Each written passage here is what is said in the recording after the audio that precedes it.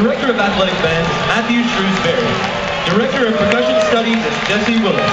Director of Marching Percussion is Josh Brown. And he's assisted by percussion instructor Michael Clifton. Tutorial advisor is Laura Card, and color guard coordinator is Candace Schrader. Visual instructor is Nathan Tucker. Check us out on the web, like us on Facebook and Twitter. The CCU Marching Band wishes to thank the University of South Carolina for the invitation to perform for you today.